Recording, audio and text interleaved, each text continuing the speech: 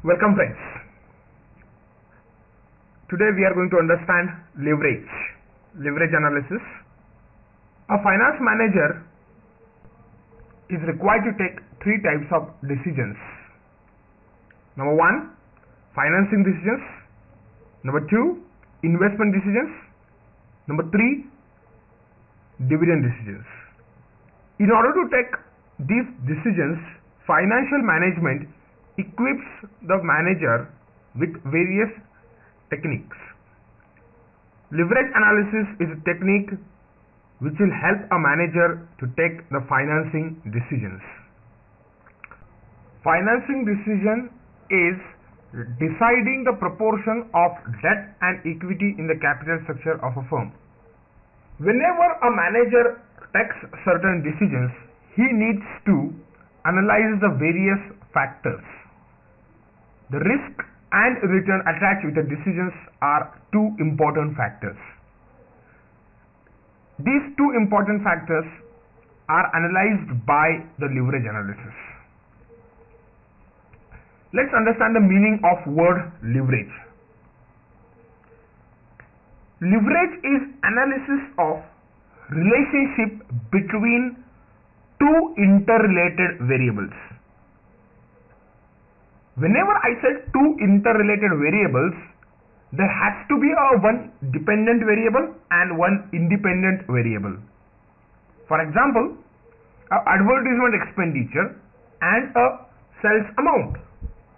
Now here sales amount is dependent on advertisement expenditure generally. Here we are going to understand two interrelated financial variables and these two variables are risk and return. Let's understand risk first. Risk is defined as uncertainty attached with the future. For example, there is uncertainty regarding the government regulations, there is uncertainty regarding raw material prices, there is uncertainty regarding the management, there is uncertainty regarding the demand and supply for the product of the business, there is uncertainty regarding the uh, technology used by the business. These uncertainties are technically called as risks and these risks typically affect the return available to the shareholder. Risk is again classified into two types. Number one, operating risk and number two, financial risk. Operating risk is uncertainty relating to the operations of the business.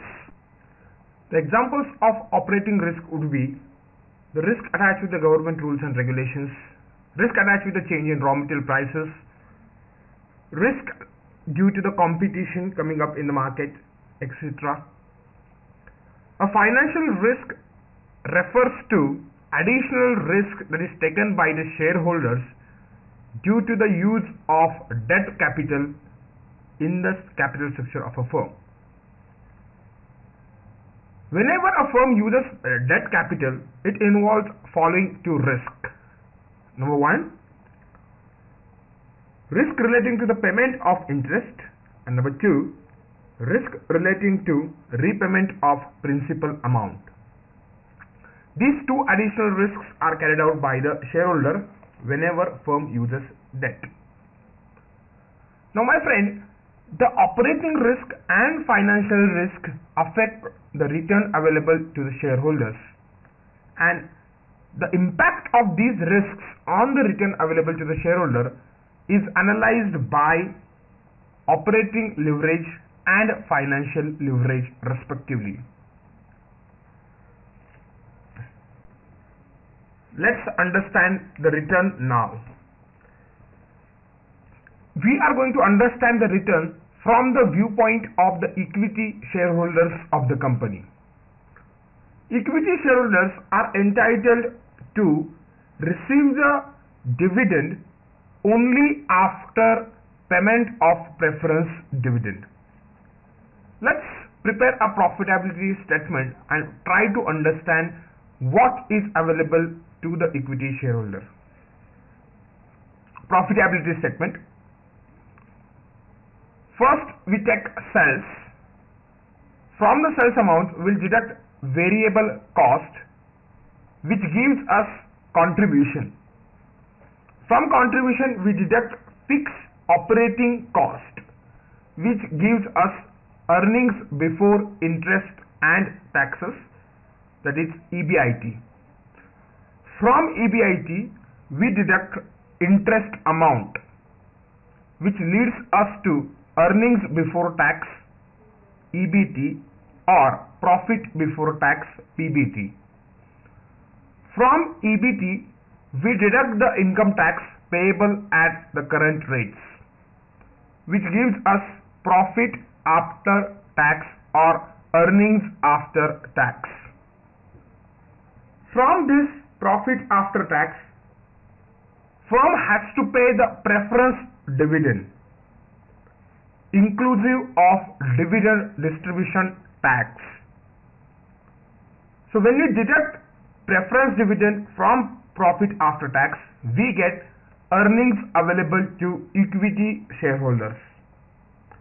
These earnings available to equity shareholders are divided by number of equity shares and that gives us earnings per share.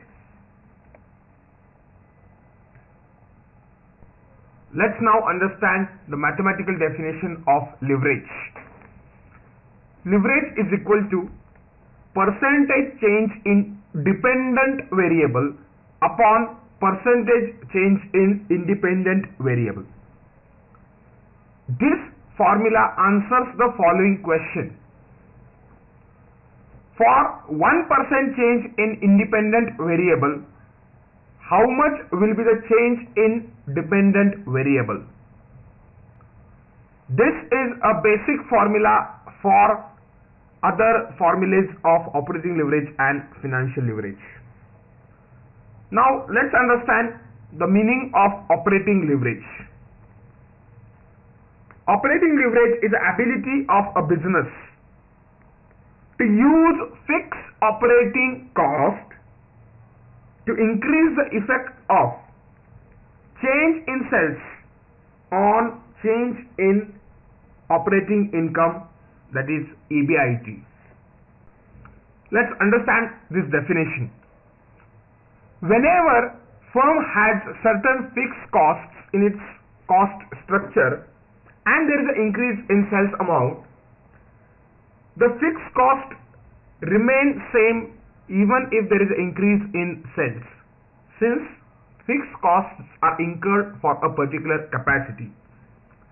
Now if you analyze your sales has increased but fixed cost has not increased. I can also say that the contribution amount has increased with increase in sales without any change in fixed cost. So obviously our EBIT is going to increase with a more percentage than increase in sales. Understand my statement carefully? The EBIT has increased by a larger percentage than the percentage change in sales. This is due to presence of fixed cost in the cost structure of a firm and this is analyzed by the operating leverage. Now we will analyze this operating leverage from different different angles.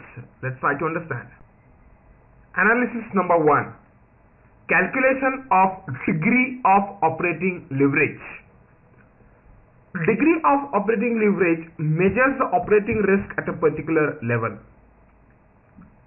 Degree of operating leverage is equal to percentage change in EBIT divided by percentage change in sales. Now whenever we use this particular formula, we need to observe following two things carefully. Number one, this formula requires the information of cells at two levels. Number two, this formula gives us the degree of operating leverage at base level. Base level is the level which is used in the denominator. Analysis number 2. Interpretation of degree of operating leverage. Let's say your sales has changed by 20% but your EBIT has changed by 60%. So we get percentage change in EBIT that is 60% upon percentage change in sales that is 20%. So 60% upon 20% we have a degree of operating leverage equal to 3. What do we mean by this 3? Degree of operating leverage indicates that for 1% change in sales, how much will be the change in EBIT? So here, degree of operating leverage of 3 indicates that if there is a change in sales by 1%, the EBIT will change by 3%. That is to say, if your sales change by 25%, your EBIT will change by 75%. Please understand, this change is in same direction. That is, if sales increase, EBIT will also increase. If sales decrease, EBIT will also decrease. Change means increase or decrease as the case may be. Analysis number 3. Operating leverage measures the operating risk. Operating risk may be defined as risk of recovering the fixed cost. A firm has to earn the amount of contribution enough to recover the fixed cost. In case these fixed costs are not recovered out of the contribution, a firm faces a situation of operating loss. So, operating risk refers to risk of recovering the fixed costs. Now, operating risk decreases with the increase in sales. That is, there is an inverse relationship between the sales and operating risk. With increase in sales, the amount of contribution also increases. The fixed costs are met out of the contribution. So, with increase in sales, a larger amount of contribution is available to incur or to meet the same fixed cost. So, the margin available is more and hence operating risk also decreases. Remember the example of basketball, cricket ball and a goatee.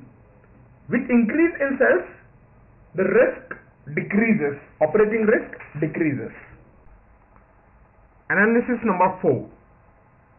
Alternative formula for operating leverage. We understood one formula percentage change in EBIT upon percentage change in sales. However, that formula can be used only when two levels are available. We have alternative formula which can be used when information about one level of sales is available. That formula is as follows.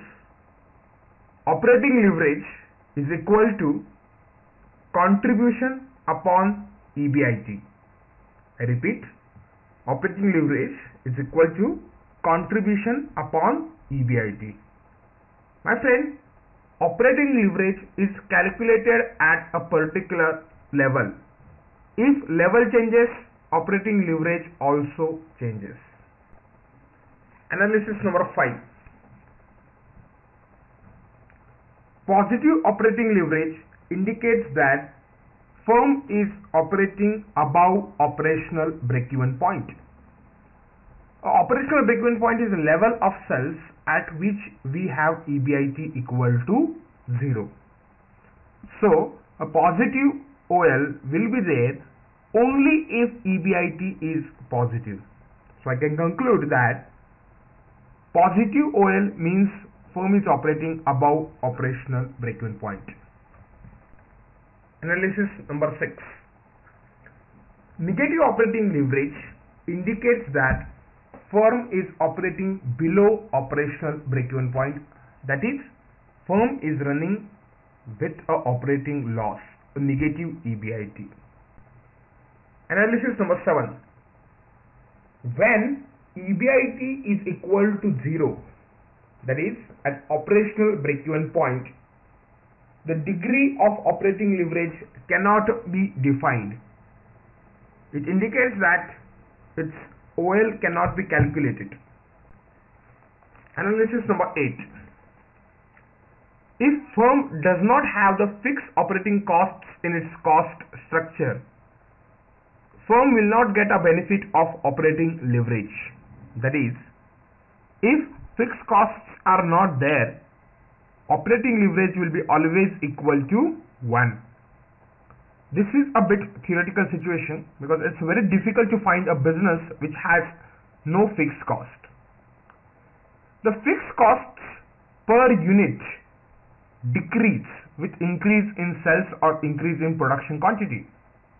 However, fixed costs in totality remain to be constant irrespective of change in sales level. Analysis number 9 Calculation of operational break-even point. Operational break-even point is a level of sales at which EBIT is equal to 0. That means there is no operating profit, no operating loss. Operational break-even point can be expressed either in terms of break-even quantity or in terms of break-even sales. Let's understand formula for break-even quantity. Break-even quantity is equal to total fixed cost in rupees.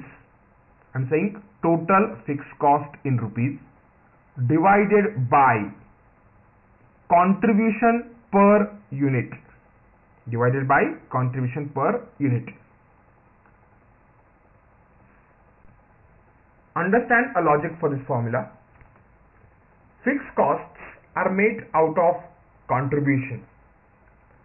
I want to find out how many units should be sold so that my total contribution will be equal to total fixed cost. So I ask a simple question. If I sell one unit, how much is the contribution? I want total contribution to be equal to total cost, total fixed cost. So how many units I should sell in order to have contribution equal to fixed cost? That leads me to the formula total fixed cost multiplied by 1 divided by contribution per unit. That's the logic. Now let's understand the formula for operational break-even point in terms of rupees that is break-even sales. Break-even sales amount is equal to total fixed cost divided by profit volume ratio. Repeat, total fixed cost divided by profit volume ratio.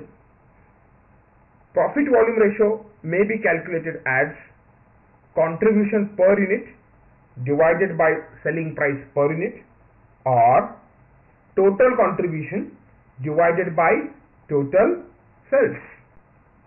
Let's understand the logic for this formula. If I sell goods worth rupees 100, I get a contribution equal to let's say rupees 40. 40 upon 100, 40 percent. This is nothing but profit volume ratio. Let's say my fixed cost is rupees 5 lakh. If I sell goods worth rupees 100, I get a contribution of rupees 40. I want total contribution to be equal to total fixed cost. So, my contribution should be equal to rupees 5 lakhs. So, in order to get the contribution of 5 lakh, how much should be my sales? I do the simple cross multiplication. 5 lakh multiplied by 100 divided by 40. Now, 5 lakh is my fixed cost Multiplied by 100 divided by 40 I can say divided by 40%. So 5 lakh divided by 40% is my break even sales. So it gives me the formula total fixed cost divided by profit volume ratio. Now let's turn on to understand financial leverage. Financial leverage is going to measure the financial risk involved in a business. Financial risk typically comes from use of debt in the capital structure. We already seen it. Now, whenever a firm uh, goes for debt financing, firm has to pay the interest on the amount of debt. The interest is considered as a tax deductible expenditure under the tax laws. However, whenever a firm uses preference shares in a part of its capital structure, the preference dividend is not considered as a tax deductible. A firm has to pay dividend distribution tax on the amount of preference dividend declared by it. Definition of financial leverage. Financial leverage is the ability of a business to use fixed financial cost to increase the effect of change in EBIT on change in earnings per share or earnings available to equity shareholders. Understand carefully. Ability to use fixed financial cost to increase the effect of change in EBIT on change in earnings per share. Few points to be noted out here. Number one, fixed financial cost means interest and preference dividend. Whenever the sales of organization increase or EBIT of organization increases, the amount of interest or the amount of preference dividend does not change. It remains to be the same. This gives the rise to the concept of financial leverage. For example, a firm has taken rupees 100 from a debenture holder, has invested this 100 rupees in its business, firm has earned rupees 20 on this amount. However, a firm pays interest of only 12% that is rupees 12 to the debenture holder. My friend, this balance of rupees 8 goes to the equity shareholder after reduction of income tax. This is nothing but trading on equity and this concept gives rise to the financial leverage. We call it as Malai. The equity shareholders gain even if they have not invested the money. They are gaining in this situation because they have taken a financial risk and they must be rewarded for their financial risk. Obviously, risk and return goes hand in hand. Second point to be noted is financial leverage analyzes two variables EBIT and earnings per share. Earning per share is dependent on EBIT. This will be useful in understanding the formula of financial leverage. Let's analyze the financial leverage from different different angles. Analysis number 1. Calculation of degree of financial leverage. Degree of financial leverage is equal to percentage change in EPS upon percentage change in EBIT percentage change in EPS upon percentage change in EBIT.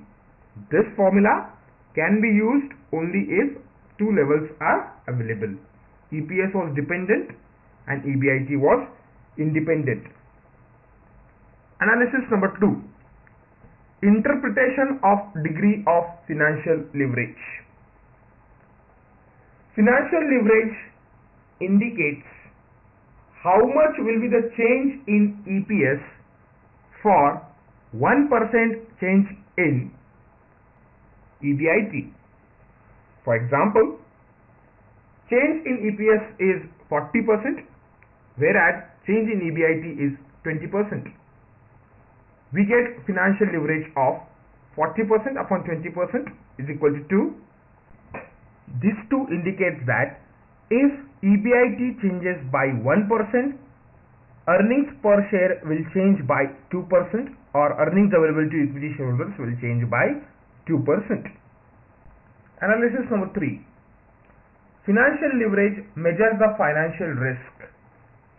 Financial risk decreases with the increase in level of EBIT.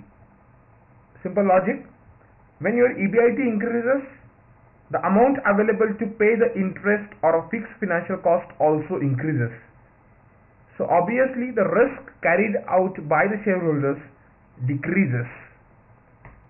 This is decrease in the financial risk with increase in EBIT or vice versa. Analysis number 4. Trading on equity or Malai. Whenever a firm uses a debt and a firm earns more than the rate of interest or the rate of dividend, the firm gets a benefit of financial leverage. The incremental amount earned goes to the equity shareholders. So I can say that whenever firm's return on investment is more than the rate of interest, financial leverage is beneficial Whenever rate of interest is more than the return on investment, financial leverage is not beneficial. And whenever return on investment and rate of interest are same, financial leverage is neither beneficial nor harmful to the organization. Understand, return on investment is also known as return on capital employed it is calculated as follows ROI or ROCE is equal to earnings before interest and taxes EBIT divided by total capital employed. EBIT divided by total capital employed. Total capital employed comprises of debt capital as well as equity capital. Analysis number 5 alternative formula for financial leverage. Financial leverage is equal to EBIT upon EBT minus preference dividend divided by 1 minus T. Understand carefully. Financial leverage is equal to EBIT divided by EBT minus preference dividend divided by 1 minus t. Understand preference dividend has to be taken including dividend distribution tax and divided by 1 minus t is applicable only to the preference dividend and not to the earnings before tax. Remember this carefully. Analysis number 6. Financial leverage will be there only if there are fixed financial costs if there is no fixed financial cost there is no financial leverage or financial leverage will be equal to 1 that was financial leverage. Now let's turn on to the final part combined leverage. Combined leverage is going to analyze the relationship between sales and earnings per share. It will answer following question. If sales change by 1% how much will be the change in earnings per share. Combined leverage can be calculated by way of the following formula. Combined leverage is equal to operating leverage multiplied by financial leverage or combined leverage is equal to contribution upon EBT minus preference dividend divided by 1 minus T combined leverage indicates for 1% in change in sales how much will be the change in earnings per share or earnings available to equity shareholder So we have summarized the entire understanding of the leverage chapter. Now let's understand some formulas which we have used in this particular chapter. Understanding the formulas used in the leverage. I would request you to revise these formulas along with me. As soon as I tell the formula, please revise this formula in your mind. Formula number one. Basic meaning of leverage. Leverage is equal to percentage change in dependent variable upon percentage change in independent variable. Formula number two. Degree of operating leverage. Percentage change in EBIT upon percentage change in sales. My friend, this formula requires two levels of sales. Alternatively, I can calculate operating leverage as contribution upon EBIT. Formula number 3 Financial leverage. Financial leverage is equal to percentage change in EPS divided by percentage change in EBIT. Alternatively, EBIT upon EBT minus preference dividend including dividend distribution tax divided by 1 minus T.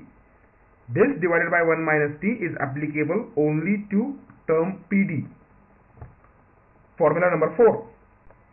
Combined leverage is equal to percentage change in EPS upon percentage change in sales or operating leverage into financial leverage or EBIT upon EBT minus preference dividend divided by 1 minus T.